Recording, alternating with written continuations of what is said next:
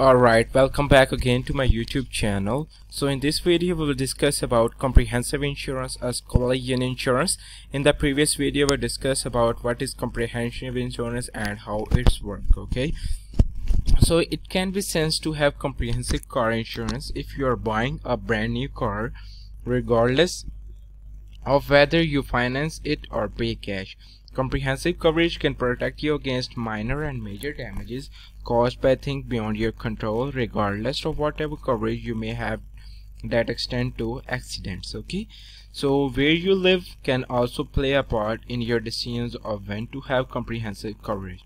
If a person lives in rural areas where collision with animals are common or in a stormy areas that often gets hail they might want to purchase comprehensive insurance the same is true if a person lives in the higher crime parts of the town where break-ins and theft occurs regularly. Collisions insurance protect you in single car rollover, a collision with another vehicle or a collision with an object. It does not cover break-ins and thieves or weather-related damages. If you release if you raise a car, you will be required to purchase collision insurance. Collision insurance come in handy when you get into an accident. To help pay for a vehicle's repair and it covers any damage to your car due to uh, roads alright. So neither insurance will cover medical bills from an uh, accident or damage to another person vehicles if you are in an accident. So the tips are when purchasing comprehensive coverage or any other type of car insurance be sure to compare the best car insurance company to find the most affordable rates. So there are the, some uh, comprehensive uh, insurance cost. So the cost of comprehensive insurance comprehensive cover uh, damage to your car caused by accident and disaster. Beyond the current accident the coverage cost of comprehensive is approximately $134 per year according to the insurance uh, information institute. However insurance.com reports that figure is $192 depending on the state you live in. Either way you are looking at under $200 a month just for comprehensive insurance for your car collision and comprehensive insurance each have their uh, deductibles.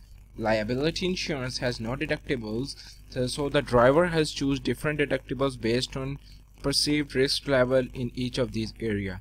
If someone thinks they are not likely to the file a comprehensive complaint but they do not want uh, to forego comprehensive insurance uh, altogether they could choose a relatively high thousand dollar deductible to the lower uh, to lower the premiums the higher a vehicle cash value the more expensive uh, a comprehensive insurance policy will be.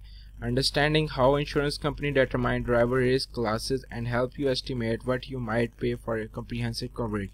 Where you live, your driving records and your coverage amount can determine how much you pay for a car insurance in including comprehensive coverage okay so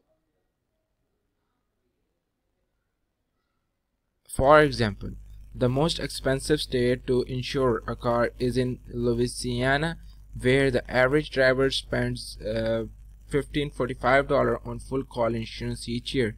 The least expensive state by comparison is North Dakota drivers pay just $686 per year on average to insure their vehicles.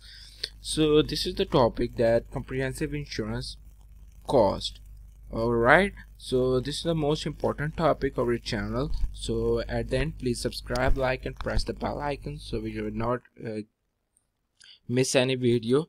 Thank you so much. Bye bye